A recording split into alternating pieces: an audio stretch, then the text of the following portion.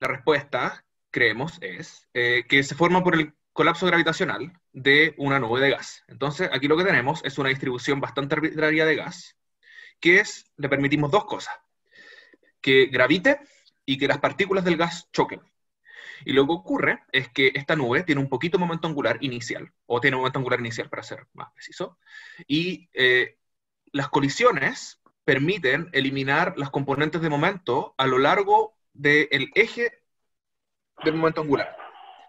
En el plano transversal a este, eh, las colisiones no pueden deshacerse del momentum y como consecuencia eh, lo que se forma es un disco. Oye, perdona, ¿es una simulación? ¿Es un Esto es una simulación, sí. Numérica. Sí. Em, sí, eh, cosas como aclaraciones rápidas, las agradezco mucho, pero yo he dado charlas antes en este grupo y yo sé que son muy inteligentes y se les ocurren muchas cosas muy rápidamente y son todas muy interesantes, pero si es que conversamos mucho no voy a alcanzar. Así que aclaraciones sí. Sí, pero no puedes mostrar algo y no decir que lo que es, po. Sí, sí, sí, sí, por eso. Es, esta en particular, gracias. No lo dije, esto es una simulación. Em, es que más adelante va a ser más claro porque estoy haciendo la acotación. En fin. Entonces la idea es que los procesos de formación estelar eh, ocurren estos dos pasos. La nube se convierte en un disco y al medio se empieza a acumular masa y acreta. El problema de esto eh, son las escalas. Eh, si uno toma la razón entre las energías, las fuerzas inerciales, es decir, la rotación, y la fuerza viscosa, eso nos da dimensionalmente el tiempo de acreción partido por el tiempo dinámico del disco. Y esto es algo que uno puede medir y da un número muy, muy grande, lo que quiere decir que el tiempo de acreción es mucho más largo que el tiempo dinámico. Por lo tanto, lo que uno concluye es que el tiempo de acreción, el tiempo en que la masa del disco puede caer a lo que está formándose al medio, es de 10 a las 6, 10 a las 7 años. Por lo tanto, el tiempo de formación estelar es del orden de la edad del universo. Y eso está claramente mal, porque las estrellas se formaron mucho antes. ¿Qué tan antes eh, el desacuerdo entre eh, el tiempo de acreción teórico y observado están en desacuerdo entre 3 y 4 órdenes de magnitud? Y esto se conoce como el problema del transporte de momento angular.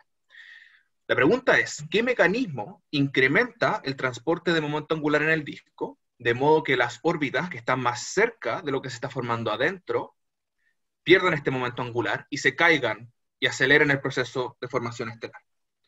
Lo que voy a hacer ahora es mostrarles claves que nos da el universo. Entonces, esta es la nebulosa eh, de Carina, observada por el telescopio espacial Hubble que es una zona donde existen muchos de estos grumos de gas, donde se pueden formar estrellas. Y estos son eh, ambientes ricos en estrellas jóvenes. Y uno puede hacerle un zoom en una cajita por aquí, y uno ve estructuras como esta. En estas estructuras lo que nosotros vemos son jets de plasma que se están propagando por el medio interestelar. Son muy largos, tienen, eh, largos del orden de un año luz, que chocan contra el medio interestelar y producen estas ondas de choque que brillan eh, y esa es la razón por la que podemos detectarlos hoy con telescopio. Y la idea es que el origen de estos jets de plasma son estrellas que se están formando. Entonces, la primera idea que podemos conversar es eh, que estos jets polares em, se llevan momento angular. La idea es que existe un disco de agresión, este objeto que está aquí en medio, y estos jets escapan eh, del sistema, llevándose parte del momento angular del disco, y eso permite que el material caiga y forme la estrella. Esta es eh, una imagen de eh, artista, pero eh, podemos observar estos discos con jets. Esta es una estrella joven que tiene su disco de y su jet.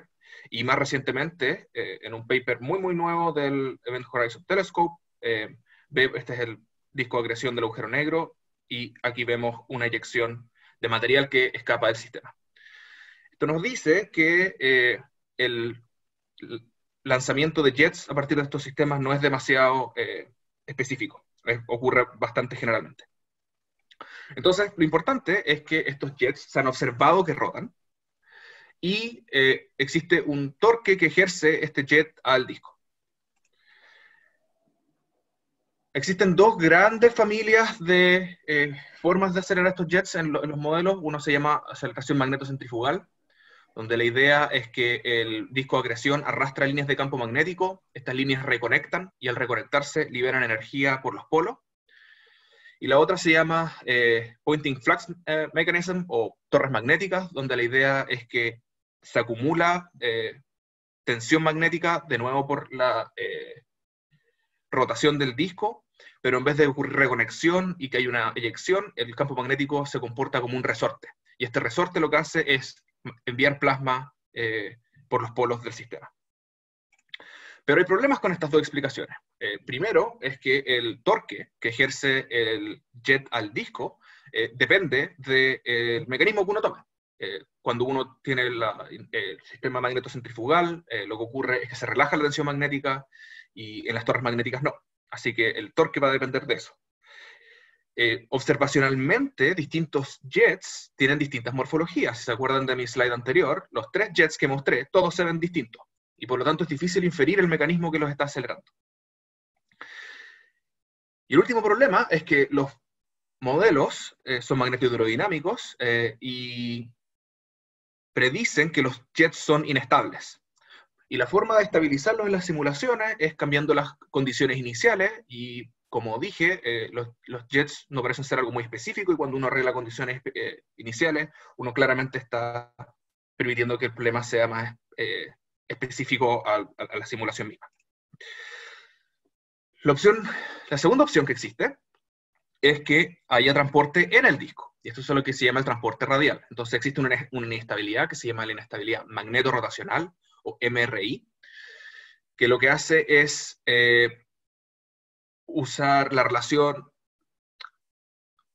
la conexión entre el campo magnético y la rotación. Estas dos cosas están acopladas eh, y generan esta inestabilidad que entrega turbulencia en el disco. Y una vez se genera esta turbulencia, eh, la turbulencia aumenta la viscosidad a través de un sistema de viscosidad anómala eh, vía un parámetro que se llama alfa, así como lo introducen las ecuaciones. Entonces, esta es la, esto es como ocurre, esta es una cajita que está metida en el plasma, eh, Z para arriba es en la dirección polar, R es la dirección radial. Estas oscilaciones son la inestabilidad magneto-rotacional eh, en el régimen no lineal, y lo que ocurre es que cuando pasa el régimen no lineal y uno permite que el sistema evolucione, empieza a aparecer esta turbulencia que es la que aumenta la viscosidad, y por lo tanto aumenta la fricción y por lo tanto las cosas caen más rápido dentro del objeto que se está formando. Pero de nuevo hay problemas. Existe muy poca evidencia sobre la MRI, a diferencia de los jets, que uno claramente los puede ver, eh, los telescopios no permiten resolver la microfísica de los discos. Eh, y los, experimentos de laboratorio tienen problemas desarrollando eh, esta inestabilidad hasta el momento. Esto es producto de problemas de bordes en el sistema y que usan metal líquido y no ocupan plasma y ese tipo de cosas. El segundo problema es que la inestabilidad magnetorotacional se estudia usualmente usando estas simulaciones que son locales. Uno toma una cajita en el disco y eso es lo que uno estudia. Por lo tanto, es difícil eh, estimar el torque global que existe producto de la inestabilidad. Hay una desconexión entre estas dos escalas. Si no les gusta eh, los campos magnéticos, eh, hay un problema con, la turbulencia hidrodinámica, que es que es tremendamente estable. Y eso hace que eh, sea muy difícil producir inestabilidades. Eh, tienen que ser no lineales, eso quiere decir que uno tiene que agitar el disco con mucha fuerza. y aún así, la turbulencia no transporta eficientemente momento angular. Y eso es algo que está medido en el laboratorio en este paper.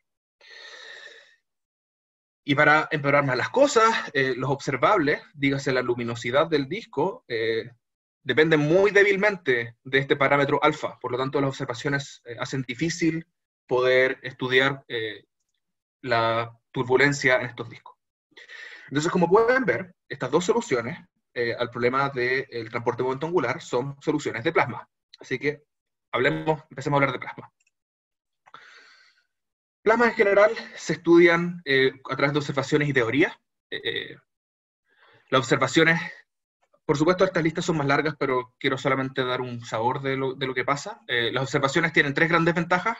La primera es que uno observa los objetos en el mundo real. En general permiten hacer buena estadística y calcular errores. Y las observaciones permiten tomar datos por tiempos muy largos. Pero el problema es que las condiciones iniciales de las observaciones no son conocidas. Eh, cosas pasan en el espacio exterior y uno las observa. Las observaciones son intrínsecamente eh, proyecciones 2D de objetos 3D y además existe poco eh, acceso limitado a, física multiescala. Uno observa las escalas globales y las escalas locales son más difíciles de resolver. La teoría tiene muy buen control de las, de, de las suposiciones que uno hace, eso es lo que llamo que no existen variables ocultas, la teoría permite hacer una exploración de espacio de parámetros y ver cómo los sistemas se comportan. Eh, y una de las ventajas de las simulaciones numéricas es que uno puede poner estos eh, switches encendido-apagado, con lo cual uno puede eh, calcular la diferencia entre efectos. Pero hacer cálculos en 3D es difícil o es caro computacionalmente. hacer cosas con lápiz y papel en general solo permite estudiar dinámica lineal y todos los códigos necesitan testeo. Los, experimentos de laboratorio, eh, que esta es la patita que quiero introducir yo, permiten eh, estudiar sistemas que son completamente en 3D y tomando simetrías, uno puede hacerlo cuasi 1D o 2D, permite acceso a física multiescala, eh, las condiciones iniciales son controladas y además uno puede ver la evolución no lineal de los sistemas, pero el scope de los experimentos es limitado porque son solamente miniaturas. En los experimentos que hago yo, la estadística no es muy buena, porque los experimentos son complicados eh, y no podemos hacer demasiado de ellos a la vez. Y existen, por supuesto, variables ocultas. Entonces, el punchline de esta slide es que todos tenemos ventajas y todos tenemos dificultades y todos nos podemos complementar. ¿Ok? Entonces, las preguntas que voy a eh, contestar en esta charla es, la primera es, ¿podemos diseñar y correr un experimento para producir y controlar plasmas que rotan? Para reproducir lo que pasa en astrofísica. ¿Sería ese experimento comparable a ambientes astrofísicos? Y lo último es cómo podría esto informar observaciones. Entonces, para empezar a hablar de mis experimentos, voy a hablar de dónde hago los experimentos. Eh, mis experimentos los conduzco en el generador MagPi, que está en Imperial College, que es el generador de potencia pulsada más grande que está en una universidad. Lo que hace MagPi es producir un pulso de 1,4 megaamperes en 240 nanosegundos.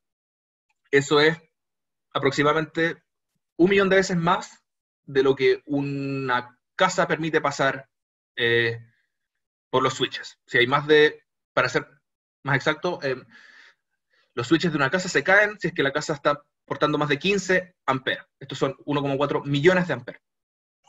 Eh, en un tiempo muy corto. De cero al máximo es alrededor de 240 nanosegundos. Esto es un cuarto de una millonésima de segundo.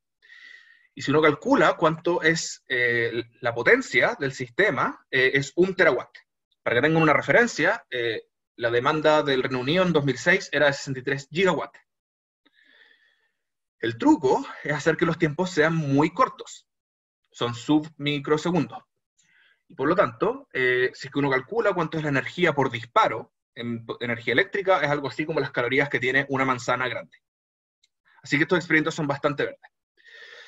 Lo que hacemos es almacenar energía en estas cajas rojas que tienen bancos de condensadores. Los descargamos todos en serie y la, corriente eléctrica se mueve por estas líneas de transmisión, que son estos cilindros, y suben hasta donde está el experimento que ocurre en esta cámara de descarga que está en chiquitito. Para que tengan una idea del tamaño del experimento, eh, en nuestra última campaña de reparación de la máquina, eh, nos tomamos esta foto dentro de una de estas cajas.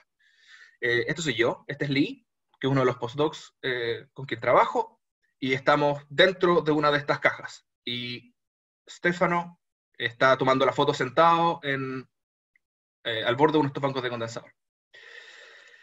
Esta es una foto del 2007, este es el equipo con el que trabajamos más colaboradores, y quiero que se fijen en lo que está ahí. Esa pequeña cosita es el experimento. Eh, usando la magia de Photoshop, apreté clic sin querer, pero eh, Dan y yo nos agregamos en eh, la foto porque esta foto es vieja y nosotros no estábamos y nos pusimos celosos y ahí estamos. Así que este es el equipo del MacPy. ¿Qué tipo de experimentos hacemos en MacPy? Eh, todos los experimentos aquí siguen tres reglas. La primera eh, dice que la corriente del generador fluye de cátodo a ánodo. Entonces la idea es que tenemos un ánodo y un cátodo, y lo que ponemos entre medio son alambres muy delgados. Los alambres están puestos como forma de cilindro y solo dibujo los que están en los extremos. Y si lo miramos por arriba, están todos puestos en, un círculo. Entonces los alambres están como en la forma de una jaula de pájaro.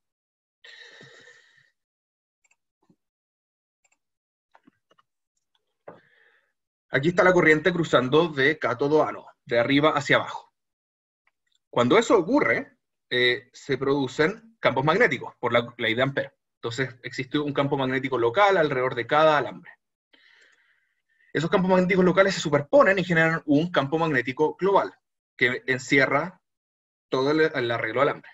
Al mismo tiempo, lo que está pasando es que la corriente eléctrica calienta los alambres y produce un plasma, que es del mismo material del que están hechos los alambres. Y este plasma lo que hace es llevar corriente eléctrica. Y como existe una corriente eléctrica que en este caso está entrando en la página y existe un campo magnético que está encerrando el eh, arreglo de alambres, lo que ocurre es que la fuerza de Lorentz apunta hacia adentro y mueve el plasma. Y por lo tanto el plasma se, desplaza desde los alambres hasta el centro del arreglo, donde los alambres ahora se comportan como reservorios de masa. Eh, esta es la, una slide entretenida. Eh, uno estos experimentos son muy versátiles. Uno puede poner alambres, por ejemplo, en la forma de una X, y eso va a producir este experimento que está aquí, donde toda la corriente se concentra en un punto, y eso produce un plasma muy caliente y muy denso. O uno puede poner los alambres en la forma de un conito, y ahora la fuerza de Lorentz apunta hacia adentro y hacia arriba, y eso produce este jet que se escapa. O uno puede ocupar otra cosa que no sean alambres, y uno puede poner un foil de cocina, eh, y eso hace que eh, la fuerza de Lorentz apunta hacia arriba, y eso produce estos jets. Y la idea es que eh, solo la, imaginación limita lo que podemos hacer en este tipo de experimentos. En mi experimento, uso eh, arreglos cilíndricos, donde de nuevo estos son eh, los, alambres que llevan corriente, se produce un campo magnético, se produce una fuerza de Lorentz y la fuerza de Lorentz apunta hacia adentro. Este es el caso estándar. En mi experimento, yo además pongo un, campo magnético radial. Y fíjense lo que pasa cuando pongo un campo magnético radial. La fuerza de Lorentz ahora ya no apunta directamente hacia el centro, sino que apunta un poquito hacia el lado. Y por lo tanto, el plasma ya no se mueve directamente hacia adentro, sino que se mueve fallando, no llega al centro. Y cuando todos estos chorros de plasma se juntan al medio, se pueden a girar. Para que lo puedan imaginar, eh, bueno, entonces en el experimento, em, la corriente circula desde abajo hacia arriba por los alambres y después hacia abajo por estos postes que son más gruesos. Y la idea es que el plasma se va a acelerar hacia adentro, va a girar, y podemos observar cualquier eyección de plasma que ocurra arriba de todo el hardware. Estos postes de retorno que están aquí, que son los gruesos, eh, no están en la misma línea radial que los alambres y por lo tanto hacen que el campo magnético haga estos pequeños wiggles que introducen un campo magnético radial. Producto de este campo magnético radial, eh, la fuerza de Lorentz toma una componente azimutal y producto de la componente azimutal eh, más radial, el campo magnético implota y gira. El arreglo de alambres son 40, eh, son alambres de aluminio de 40 micronas, para que tengan una idea, eso es como del grosor de un pelo. Eh, y, este, y están atrapados por estos em, postes de retorno que son más gruesos. Son de un milímetro de diámetro. Y el offset entre los alambres y los postes de retorno es de 13 grados. ¿Cuál es la distancia entre los alambres y los postes de retorno? 3 milímetros. Gracias. Eh, esta es una simulación, esta es una simulación 3D usando el código Gorgon. Eh, aquí en chiquitito pueden ver los alambres, y aquí pueden ver los postes de retorno, y aquí pueden ver el experimento en acción. Lo que voy a hacer es iniciar la corriente del generador, la corriente va a salir por los alambres y va a entrar por los postes de retorno, y vamos a ver qué es lo que pasa. Entonces aquí está el plasma implotando y moviéndose, y genera esta estructura. Fíjense que existe una acumulación de plasma en un anillo. ¿Qué es lo que está pasando? Aquí lo que hice fue poner, hice un zoom en la, región central, y lo que puse ahora son eh, los vectores de velocidad del flujo, donde color rojo significa se está moviendo preferencialmente para la derecha y color azul significa se está moviendo preferencialmente para la izquierda. Y fíjense lo que pasa. Si siguen la flecha, el campo magnético se mueve según las manillas del reloj. Y la acumulación de plasma ocurre porque la fuerza centrífuga lo que está haciendo es sacar plasma acá al medio y tirándolo hacia afuera, y el plasma se acumula donde la presión de la fuerza centrífuga se iguala con la fuerza eh, con la que estos jets están empujando hacia adentro. Si entendieron eso del experimento, entendieron todo, no es necesario más. Para la gente que le gusta ver imágenes CAD del experimento, porque ahora voy a pasar a los resultados experimentales, eh, se ve algo así. De nuevo la corriente sube por esta parte del hardware. El arreglo alambre es solamente esta cosita que está aquí. Sube por estos alambres, baja por los postes de retorno, es decir, sube por aquí y baja por acá. Y luego se va a tierra. Existen dos sets de diagnósticos que nosotros ocupamos, unos que son side-on, vista lateral, y unos que son end-on, usando un espejo. Y lo que con lo que voy a partir es con lo que pasa mirando desde abajo. Entonces, estas son imágenes del plasma. El plasma es muy caliente y brilla, y estamos observando el brillo del plasma. Y fíjense que estos son los chorros del plasma que se conectan al medio y se ponen a girar. Y fíjense que tiene un hoyito al medio. Este hoyito no es nada común en estos experimentos eh, y es una indicación de que el plasma está girando. Eh, el experimento alcanza un estado cuasi estático por sobre los 100 eh, nanosegundos, lo cual es bueno porque nos da tiempo para medir, para eh, medir cosas y producir efectos eh, interesantes. Una propiedad interesante de este experimento es que eh, las cosas pueden salir mal y sigue funcionando. Fíjense que en este set de imágenes, de otro, este otro, de otro disparo, tenemos uno de estos jets radiales que se ve raro. Esto es porque uno de los alambres no estaba bien conectado al hardware. Y fíjense que a pesar de que uno de nuestros jets no se porta bien, de todas maneras tenemos este eh, plasma que es hueco. Eso nos indica que de todas maneras estamos inyectando momento angular en este disco que se está produciendo al medio. Y eso es algo atractivo para cualquier plataforma experimental porque uno puede cometer errores y esto eh, sigue funcionando. Si miramos esto de lado, esto es como el plano R teta, pero si miramos en el plano eh, RZ, podemos ver que se forma un jet. Ahora este es el arreglo de alambres mirado desde el lado. Estos son los postes de retorno. Estos son estas, estas son las sombras de los postes de retorno. Y estamos mirando en rayos X. El plasma del arreglo se mueve en, este, en esta región que está aquí y escapa plasma axialmente, produciendo este jet que es muy largo y muy colimado. Eh, esto es muy interesante porque eh, esto es básicamente lo mismo que pasa en astrofísica. Uno tiene un disco que está girando y de pronto aparece este jet que emerge. Entonces quisimos estudiar este jet con eh, más detalle y eh, no pueden verlo ahora porque estas imágenes están mirando en rayos X, pero hay un láser que está pasando por aquí, eh, en esta imagen que está aquí. y con ese láser lo que nosotros hacemos es mirar la densidad del plasma. Entonces el láser cruza el láser tiene eh, una fase que nosotros conocemos, producto del plasma, esa fase cambia y eso nos da una idea de la densidad de este plasma. Y uno observa esto y uno observa que aquí está el jet. Lo interesante ocurre cuando uno toma lineouts de esta densidad. Y fíjense solamente en la línea verde.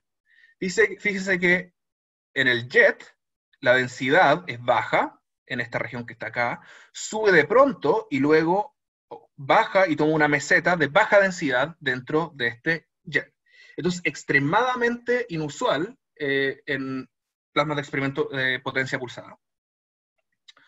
Eh, y la pregunta es si es que esta baja densidad en el centro nos indica rotación. Acuérdense, la idea es que es la eh, fuerza centrífuga la que está sacando plasma de aquí al medio y la está moviendo hacia afuera.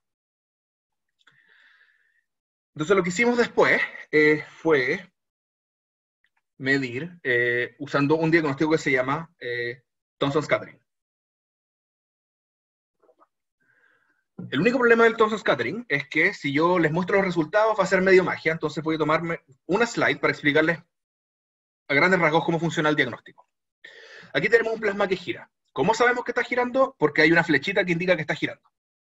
Y lo que hacemos es pasar un láser de muy alta intensidad y muy enfocado por el medio de este plasma. Y ponemos detectores, mirando eh, en 90 grados eh, relativo a la eh, dirección de propagación de este láser que está muy enfocado. Y usando óptica, lo que hacemos es enfocar la luz que estos detectores colectan. Entonces, esta luz, estos detectores recolectan luz solamente de estos volúmenes que viven dentro del plasma, que se llaman scattering volumes. Entonces lo que ocurre es que este láser de alta intensidad entra en el plasma, dentro de estos eh, volúmenes, el láser agita los electrones, eh, produciendo eh, Thomson scattering. Básicamente se dispersa la luz, que es un proceso elástico en el sistema de referencia donde el electrón está quieto. Pero en el sistema de referencia del laboratorio, el electrón no está quieto. Por lo tanto, lo que ocurre es que estos electrones que viven en estas cajitas dentro del plasma nos entregan luz, producto de que los agitamos con este láser. Y esa luz eh, sufre eh, efecto Doppler y por lo tanto cambia el espectro de la luz que se dispersa a partir de estas cajitas. Entonces, lo que hacemos es conectar estos detectores a un espectrómetro y ver cómo cambia la luz que nos entregan eh, los electrones en estas cajitas. Y este efecto Doppler puede deberse a tres grandes cosas. Eh, movimiento térmico de los electrones dentro de las cajitas, eso produce que los espectros se ensanchen. Si es que estos electrones se están moviendo todos juntos, eh, el espectro se va a mover hacia, eh, el azul o hacia el rojo. todos juntos, por lo tanto se mueve el centroide del espectro. o pueden haber ondas dentro del plasma y eso va a cambiar la forma del espectro. Si eso fue muy teórico, ahora les voy a mostrar cómo uno lo hace. Entonces, este es el jet, y estos son los volúmenes de scattering donde estamos tomando datos. Eso quiere decir que hay un láser que está pasando por aquí al medio. Y estos son espectros que son representativos. el espectro de arriba es el número 3, el del medio es el número 5 y el de abajo es el número 7. Esta línea negra es el espectro del láser y fíjense que producto del plasma el, espectro se ensancha y se corre hacia la derecha. cuando miramos al medio, el láser no se mueve notoriamente ni, hacia la izquierda ni hacia la derecha, eso quiere decir que no pasa ni hacia el azul ni hacia el rojo, pero cambia la forma del espectro. Eso es porque el láser está resonando con ondas acústicas que están dentro del plasma. Y aquí en el 7 que es esta posición que está acá hacia la derecha, el plasma se mueve eh, hacia el azul y también cambia el espectro. Y con esto nosotros podemos calcular la temperatura y la densidad del plasma. Eh, la temperatura y la velocidad del plasma, quiero decir. Calculando la velocidad en estas fibras, eh, podemos ver la velocidad simultánea. Y fíjense que este, esta línea vertical es el eje del jet. Eh, la, luz que viene de las posiciones 3 y 4, que están aquí, dan una velocidad positiva. Y 5, 6 y 7 dan una velocidad negativa. Si se acuerdan, esto es lo mismo que teníamos con las flechas azules y rojas en la simulación. Aquí el plasma se está moviendo hacia dentro de la página y aquí el plasma se está moviendo hacia afuera de la página. Y eso es rotación. Por lo tanto, con esto nosotros medimos que mi, mi jet de plasma está girando igual que en el caso astrofísico. Entonces, para contestar mi primera pregunta, eh, ¿podemos diseñar y correr experimentos para producir y controlar plasmas que rotan? Y la respuesta es sí. Eh, podemos producirlos de forma que tengamos eh, un estado cuasi estable de 120 nanosegundos y con una velocidad de rotación de aproximadamente 20 kilómetros por segundo. Para que tengan una idea de lo rápido que es 20 kilómetros por segundo, la Tierra orbita al Sol aproximadamente a esa velocidad. Así que no está nada mal para un plasma que es del porte de 2 milímetros, es decir, como de este porte. Eh, tenemos un almuerzo gratis en esta plataforma, que es que tenemos eh, un jet axial que también rota. Por lo tanto, tenemos una plataforma que autoconsistentemente nos entrega discos y jets. Y ahora las preguntas que tenemos abiertas y eh, en las cuales tenemos que empezar a trabajar una vez la pandemia se acabe es cuáles son los mecanismos de aceleración y de colimación del jet. Eh, si es que este plasma es estable producto de la rotación, si es que es la rotación la que los está estabilizando y nos permite tener este estado cuasi estable, y cuál es el rol del campo magnético en estos experimentos, cosas que podemos hacer muy bien en el laboratorio. Entonces ahora voy a pasar a mi segunda pregunta, que es eh, si es que este experimento es comparable a ambientes astrofísicos. Y la pregunta puede condensarse en conectar sistemas que son distintos en 20 órdenes de magnitud. Los sistemas astrofísicos se mueven en escalas de años luz, en unidades astronómicas, y pueden pasar miles de años en su evolución, y me experimento de algunos pocos milímetros, eh, y y en escala submicrosegundos. Entonces, hasta ahora la charla ha sido algo como esto. Este, este bufón me representa a mí y yo les estoy mostrando estos experimentos de plasma y estos son ustedes que no están demasiado convencidos sobre que nada de esto sea relevante para algo astrofísico. Y ustedes hacen la pregunta. Estos son, estos son experimentos en microsegundos y eh, ocurren a escalas de milímetros y esto no tiene absolutamente nada que ver con los discos de acreción y con los jets. Las escalas son completamente diferentes. Y además, tus experimentos, me dicen ustedes, son de aluminio.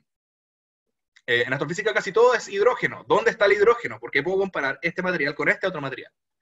Y mi respuesta es, obviamente, hay que usar escalamiento de MHD. Y eso es lo que voy a explicar ahora.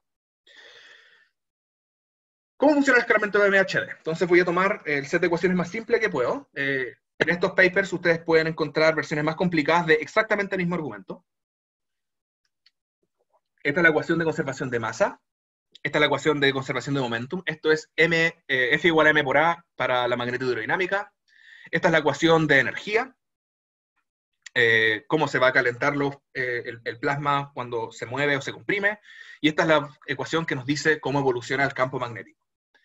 Y el truco es sacarse las escalas del problema. Entonces lo que uno hace es descompone las variables en valores característicos. Entonces lo que uno dice es, las velocidades van a tener una velocidad característica, las, escalas de distancia van a tener una escala de distancia característica, los tiempos van a tener una, tiempos característicos, y con eso uno transforma estos operadores y uno hace lo mismo para la densidad de masa, la presión y el campo magnético. Entonces, la, gracia de esta descomposición es que estas cantidades que tienen un cero abajo eh, pueden tomar eh, el valor que es relevante para el sistema eh, y se llevan las unidades. Y todas las unidades que tienen gorrito por construcción tienen valor 1 y no tienen unidades. Y si uno hace eso y uno mete esta descomposición en estas ecuaciones y despeja las cantidades que tienen las unidades de forma que las ecuaciones sean adimensionales, bueno, uno llega a ecuaciones adimensionales. Fíjense que en todos los lados izquierdos de estas ecuaciones solamente hay cantidades con gorrito. Así que todas estas cantidades no tienen unidades y por construcción tienen magnitudes del orden de 1. Estas son las, ecuaciones adimensionales que describen el plasma. Al otro lado me empiezan a aparecer estos coeficientes que contienen los valores característicos del campo magnético, presión, velocidades, etc. Y esos existen en todas las ecuaciones. Ahora, noten lo que pasa. Las escalas espaciales, es decir, los L sub 0, acoplan solamente, únicamente, en los términos disipativos. Fíjense que L0 solo vive en este término que acopla con la viscosidad. Y en, y en este término que acopla con la difusión térmica. Y en este término que acopla con la resistividad. Toda la información de la escala del sistema está en los términos disipativos. Y a su vez, estos coeficientes de disipación, que son la viscosidad, la eh, difusión térmica y la resistividad, son quienes contienen la información del número másico del sistema y la ionización y la densidad de masa. Por lo tanto, estos términos contienen la información de la escala del sistema y la información sobre los materiales. Entonces existe una ley que se llama eh, similaridad de Euler exacta, que dice que sistemas, diferentes sistemas MHD se comportan de forma similar si estos coeficientes tienen exactamente el mismo valor. Es decir, puedo tomar dos sistemas, hacer la misma descomposición y llego exactamente a las mismas ecuaciones, a pesar de que tengan valores muy distintos para los valores característicos.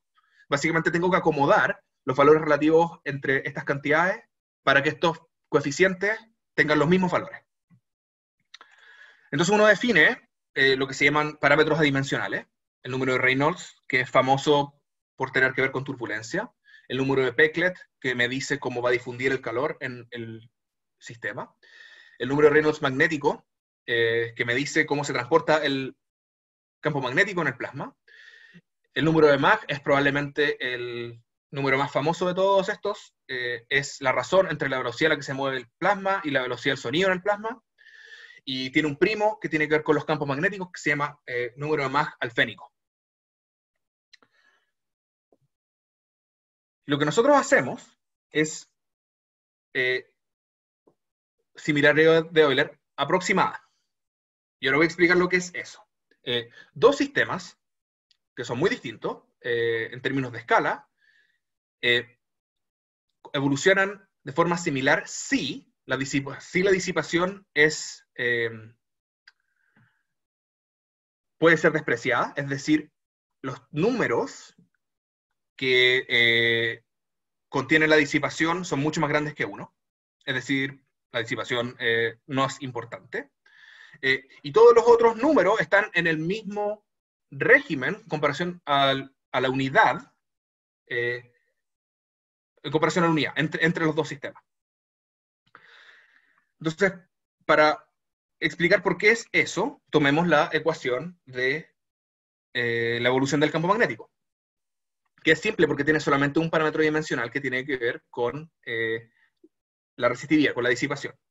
Fíjense que este término no sabe de la escala, este término tampoco sabe de la escala y este término sí. Y si el número de Reynolds magnético es mucho más grande que 1, este término se hace cada vez más, más, más y más chico. Y si uno lo desprecia, uno queda con una ecuación que no sabe qué tan grande es. Y por lo tanto, eh, para un número suficientemente grande de Reynolds, eh, de Reynolds magnético, este término desaparece y uno tiene dos sistemas eh, donde la escala no importa. Y eso es cierto para todos los eh, parámetros dimensionales, porque de nuevo, en estos parámetros dimensionales la escala está acoplada aquí. Y los otros términos lo que hacen es, bueno, acoplar los otros términos de forma tal que uno pueda encontrar física que es interesante. Y si uno hace eso con los discos eh, y jets, a partir de mi experimento, uno ve que todos los regímenes están acoplados. Y por lo tanto,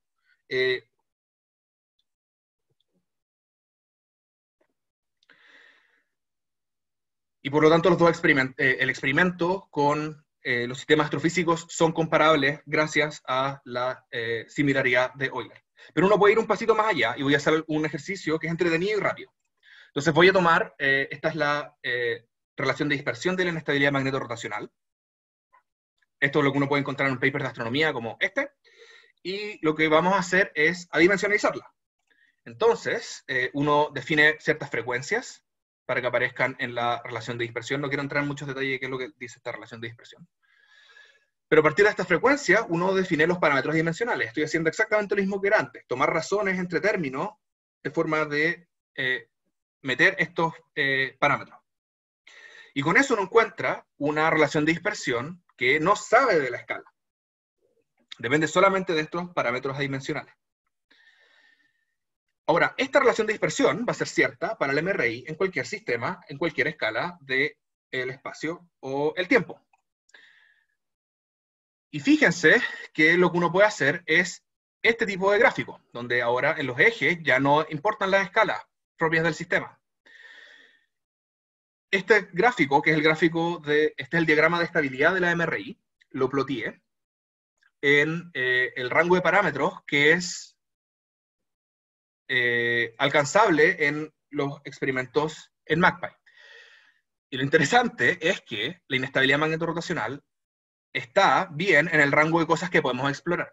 Esto es, esto es prometedor porque eh, la inestabilidad magneto-rotacional no ha sido medida en un experimento de plasma, nunca.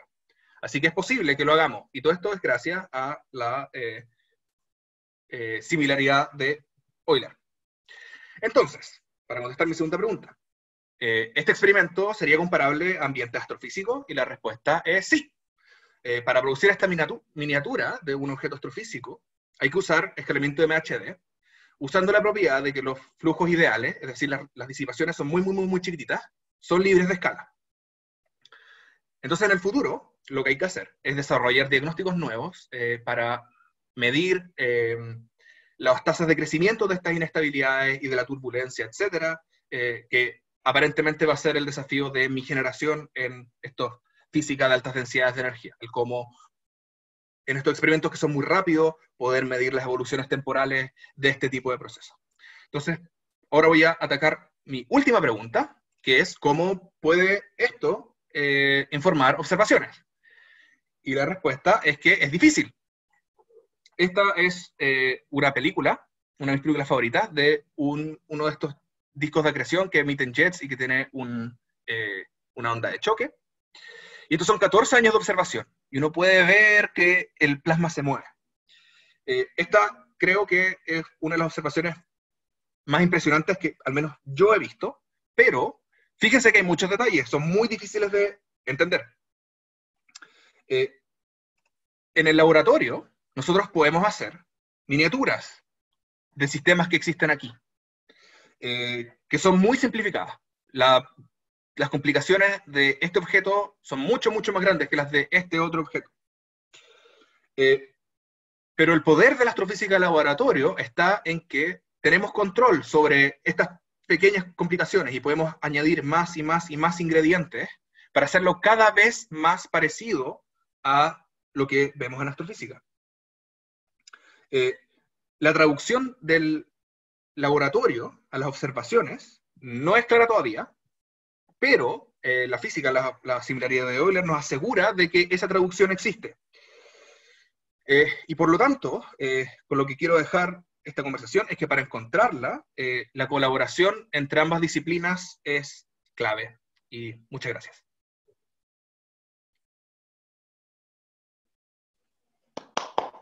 Muchas gracias, Vicente. ¿Preguntas? Yo tengo preguntas, si no te incomoda. No, no me incomoda, dale nomás. Hola Vicente, gracias por la presentación. Eh, se nota que hay un montón de trabajo. Mostraste aquí, creo que al final uno o dos resultados experimentales, una cosa ese estilo, usando la super cámara que siempre he querido medida de tantos cuadros, ¿no? Sí. Ok. Bueno, una, una cosa, una aclaración que te quiero como hacer primero que no, no quiero que suene mala onda para nada, ¿eh? lo que está mostrando es impresionante y buenísimo, pero sí hay experimentos de plasma que han mostrado la MRI, que no son con los plasmas que nosotros estamos más familiarizados, son los que usan los co-wet flow, hay algunos en Wisconsin, hay otros en Princeton, y no me acuerdo dónde más, pero sí, ha habido experimentos, de, de, hecho se ganó un premio en la APS hace un par de años, la estudiante de doctorado que, que lo hizo. Eh, por medir la MRI en un contexto de laboratorio. De sí, hay un problema con eso, em, que está dentro de las cosas que eh, estas todas las referencias que mostré antes. En los experimentos de Princeton, eh, primero no son en plasma, eh, son en metal hay- líquido. No, Existe no, un hay experimento, que sí, sí, ya voy. De- de- déjame, déjame terminar. Eh, el problema que tienen esos experimentos es que están encapsulados en estos eh, en cilindros. Y este es el mismo problema que tienen también los experimentos eh, de plasma. El punto es que cuando tú tienes estos eh, cilindros, estás poniendo condiciones de borde externas. Y eso produce circulaciones extra en el flujo del plasma o del metal líquido. Y lo que ocurre es que cuando uno calcula eso, eh, cuando uno toma eso en consideración, eh, entra un- una segunda inestabilidad que se llama la inestabilidad de Kelvin-Helmholtz, que está magnetizada. Y el problema de la inestabilidad de Kelvin-Helmholtz ma- magnetizada es que produce exactamente la misma señal que la MRI. Y por lo tanto, eh, es- todo el mundo está así. No sabemos si esto es realmente la MRI o no. Y por eso puse eh, poquita evidencia. Eh, el año pasado, de hecho, eh, Hantao de Princeton con Eric Black- Blackman y el resto publicaron un paper en Nature donde hicieron el equivalente de la MRI usando resortes y masitas. Eh, donde ellos van y hacen una similaridad similar a la, que mostré recién. Y ellos mismos comentan, no hemos podido hacer la MRI y este, ese paper es mucho más nuevo que el, eh, el premio de Wisconsin. Por lo demás, eh, la máquina de Wisconsin ya, ya no existe, el QED Flow lo transformaron en el Big Red Ball. Eh, así que, sí. No, hay, pero- hay- hay- Pero no, que... es que no haya nada en plasmas. Hubo, tal vez, tal vez ya no va a haber más, y es mejorable. Yo no estoy diciendo que no, que, que- que- que no exista. O sea, era en plasma, el de Wisconsin al menos. Eh, conozco mucho los de cristal líquido también, obvio, lo de, que han hecho con mercurio, hay montones. Eh, pero, pero también con plasma. Pero en fin, O sea, experimentos que intentan hacerlo, sí. Ya, otra cosa. Lo que tú ocupaste es, el- justamente en la película que estáis mostrando ahora, eh, se ve no solamente el disco central, sino que se ven también los choques producidos por la colisión entre los inflow de los alambres, Sí. eh, las que parecen como las gajos de naranja. Ujú. ¿sí? Eh, ¿Por qué? O sea, me extraña mucho que los experimentos sean en aluminio, siendo que, como ambos sabemos, es mucho más difícil de montar en el experimento que, la- que el tungsteno, y el aluminio muestra los procesos de colisionalidad que no muestra el tungsteno. De hecho, en, tu- en lo que estáis mostrando ahora en pantalla, en la simulación, se ve no solamente el disco central, sino que se ven también los choques radialmente saliendo. Sí. ¿Por qué el aluminio? Bueno, esta cosa depende de que colisione, ¿no? Eh, si el tungsteno es menos colisional, es un peor elemento para hacer esto, porque se va a formar una especie de nube extraña aquí al medio en vez de, eh, en vez de una, un- un- una estructura bien definida. Eso, es colisional, por lo tanto gira. Eh, si hacemos simulaciones en Gorgon con tungsteno, el problema que tiene es que Gorgon es colisional, así que no reproduce bien lo que tiene que hacer el tungsteno. Vicente, eh, con, con el, con el material tú también puedes ajustar el Z y así también ajustas los números para ver qué tan escalables son los experimentos al, al- al- al- al escenario astrofísico. Sí. Eh, ¿Cómo andan eh, con, los, con las condiciones experimentales que están usando actualmente y las que han usado ese, esos números? ¿Andan en el, en, el, en el rango del escalamiento o están muy, muy lejanos? Sí, pasé muy rápido por esa diapositiva. Eh, esto es lo que, estos son los números. Mm, Los importantes, los más, más, más importantes son estos. están bien, como que son bien distintos, ¿no? Son bien distintos. Eh, el, punto es, el punto es que estos números no compiten entre ellos. Lo que uno tiene que hacer es alcanzar el rango donde la disipación no sea importante, y en todos estos la disipación es importante, por lo tanto el experimento es libre de escala.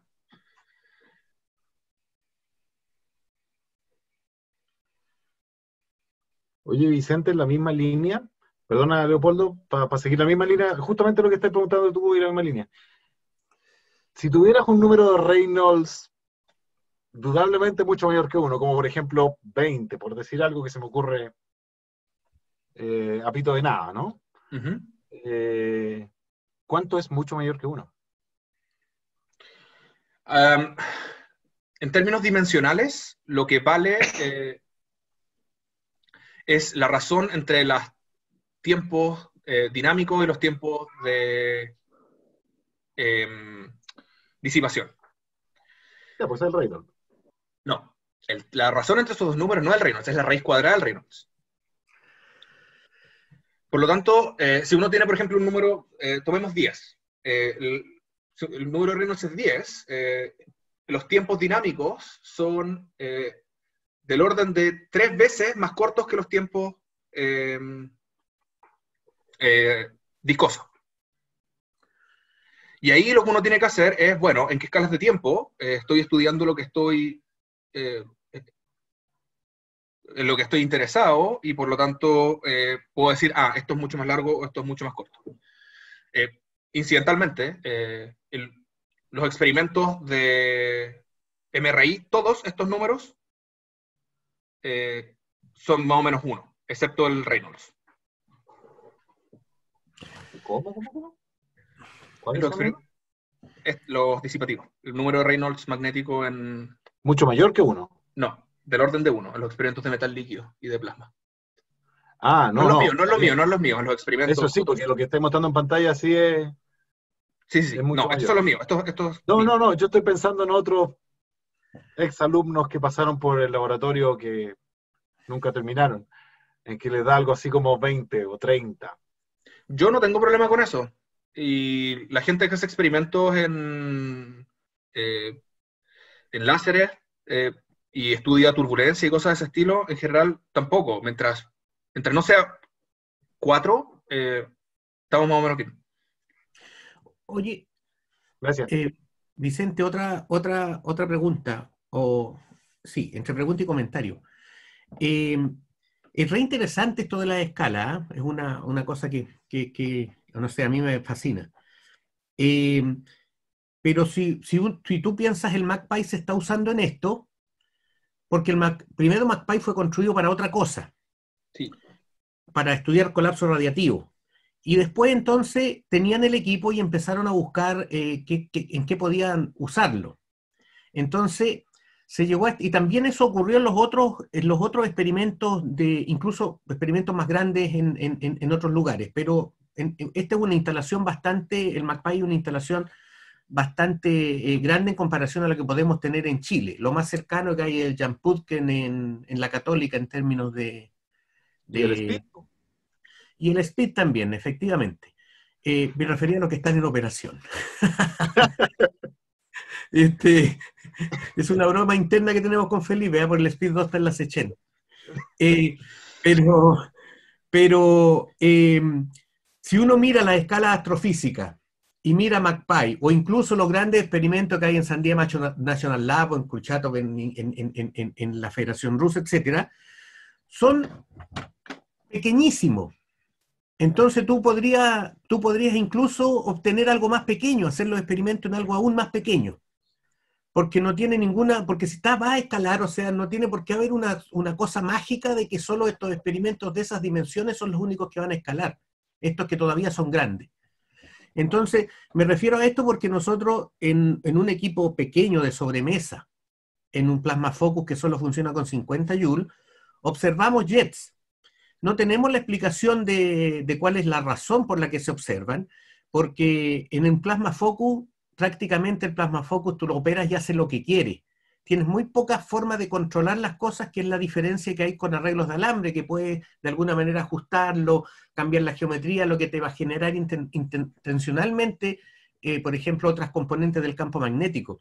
Pero, por ejemplo, eh, jets, eh, o sea, hay- equipos súper pequeños en los que uno puede observar jets que tienen al menos la misma velocidad de, de expansión que la que hay en, los, en, en este, en este equipo grande. Entonces, ¿qué, qué piensas tú sobre, sobre hasta dónde se puede llegar con el escalamiento hacia abajo? Eh, sí, eh, lo, lo bueno del escalamiento es que puedes tener un experimento en principio, lo más, voy a mostrar, creo, esto. Pero me refiero a las cantidades Lo- de energía, no, no necesariamente a las dimensiones. Lo que pasa es que eso, uno puede hacerlo en un experimento sobre mesa o en una máquina de dos pisos como la que tenemos acá, eh, mientras uno ajuste las otras cosas como corresponde. Entonces uno ajusta las velocidades o uno ajusta las, qué sé yo, ionizaciones o temperaturas, etc. Eh, mientras uno haga eso, uno, uno es- es- es- está más o menos seguro. Eh, las complicaciones vienen en el experimento, digamos. MagPi es grande porque es muy, muy versátil, como muy bien dices tú. Eh, un plasma foco chiquitito no es tan versátil y eso es más o menos lo que uno paga. Eh, de nuevo, mientras uno, uno haga esto, eh, la- el tamaño del experimento no es importante.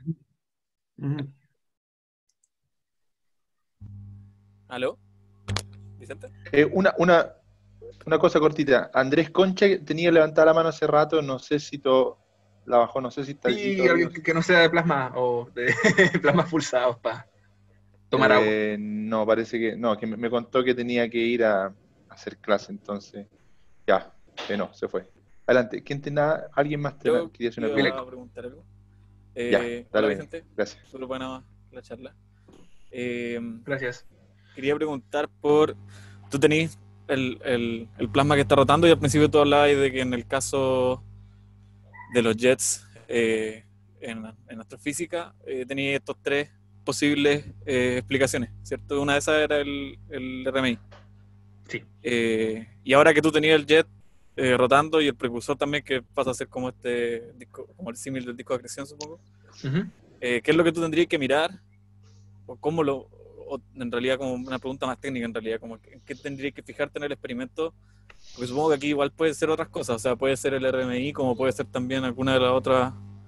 de los otros mecanismos, lo que te está produciendo este jet en el experimento también. La diferencia es que, claro, como tú dijiste, tenía acceso, podéis mirarlo y podéis determinar. Entonces, ¿cómo podéis determinar tú eso mirando qué cosas en tu experimento? Es una re buena pregunta. Em, lo que hay que hacer es medir eh, la evolución del campo magnético en el tiempo. Eh, lo que podemos hacer en MagPi es tomar una imagen, un mapa del campo magnético en todas partes en un instante. Em, para eso somos buenos ahora. Ahora, lo- para mí, la MRI lo que habría que hacer es medir un punto eh, en, en el laboratorio, digamos, por donde está cruzando el plasma, eh, y medir el campo magnético ahí y cómo evoluciona en el tiempo. Y a eso me refiero con que eh, tenemos que desarrollar estos nuevos diagnósticos para poder hacer. Ah, perfecto. El punto es que la rotación eh, reduce los grados de libertad, eh, reduce grados de libertad, porque básicamente lo que ocurre es que el plasma no se puede mover, por, debido a, a la conservación de momento angular, el plasma, plasma no se puede mover eh, libremente hacia el eje o fuera del eje, porque tiene que, tiene que girar más Claro. rápido o más lento para compensar. Y eso, y eso permite eh, cierto grado eh, de estabilización. Y esos son los problemas de astrofísica. No hay muchos más... eh, no hay muchos más mecanismos con, con los que, que estén bien aceptados y que la gente crea que, que sea lo que pasa aquí, producto de la rotación.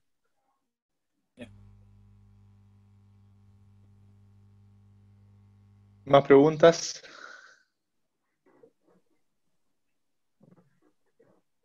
Ah, for the record quiero decir, nos, nos- yo no tengo muy claro si es que tengo la MR, MRI aquí. Yo creo que estamos, tenemos un espacio de parámetros en el cual podemos explorar y tal vez meternos un- en, un, en, en- en el, en el punto adecuado. Pero no iría tan lejos para decir, eso es lo que está pasando aquí.